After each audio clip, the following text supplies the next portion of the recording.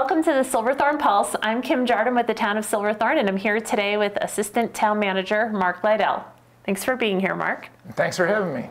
We are here to recap the January 25th, 2023 Town Council meeting and work session as well. So let's jump in to the work session. And we had an item uh, for discussion, which was the draft policy for remote council meeting participation, which we actually talked about the last time we were here.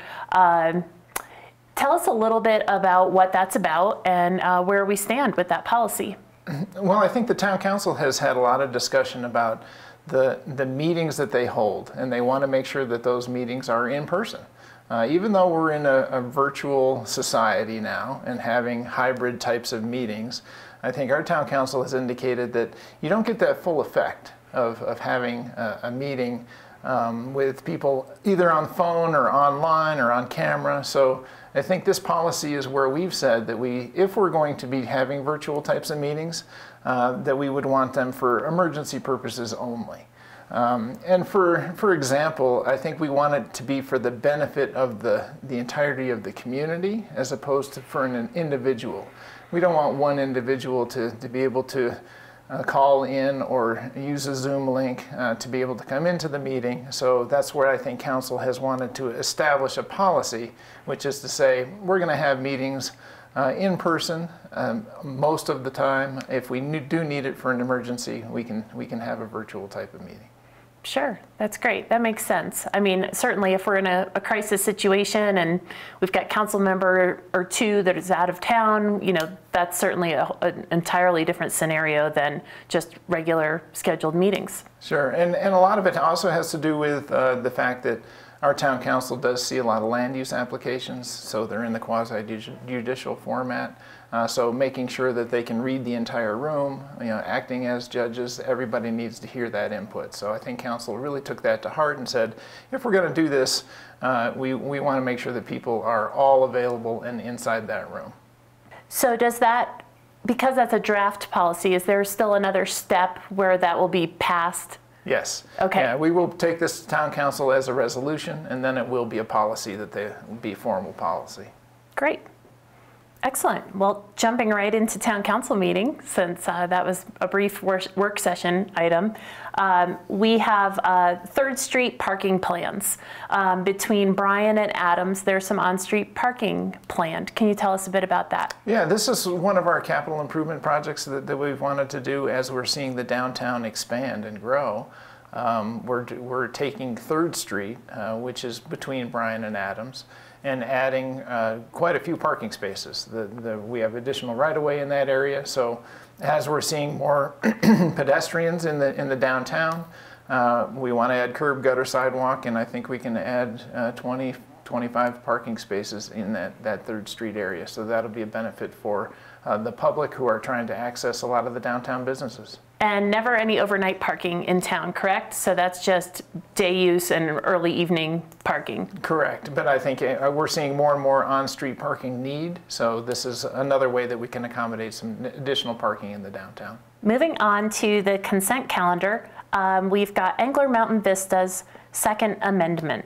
Um, talk a little bit about that, if you will. Yeah, Angler Mountain Vistas uh, is a new project that is uh, up near the substation at the very top of Angler Mountain Ranch. Uh, so this uh, plat, uh, replat, is creating six additional lots that would be available for sale. Um, actually, the houses are for sale also. So this replat is, is pretty pretty easy, pretty routine, and, and this uh, allows for uh, the land to be transferred uh, to the individual buyer. In the public hearings portion of the meeting, we had ordinance 2023-01, which was an ordinance authorizing the town manager to execute a contract for the town's sale of a property on Polar Court.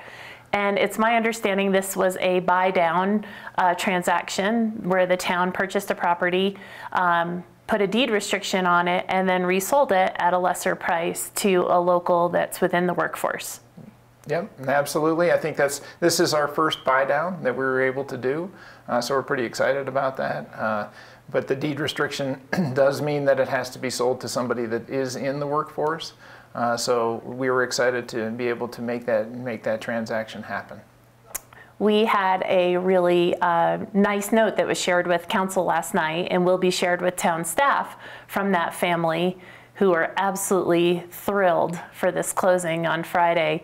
Uh, they've been living in a much smaller um, condominium uh, with three teenage children, and uh, they just couldn't be happier. So it was really great to see their message to council and, and how appreciative they are that council took on that, that project.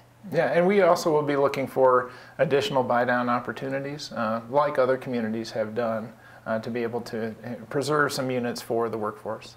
Uh, second public hearing item was Resolution 2023-05, which was approving a minor subdivision and final site plan for Azure Landing, which is formerly the Parkway Place South.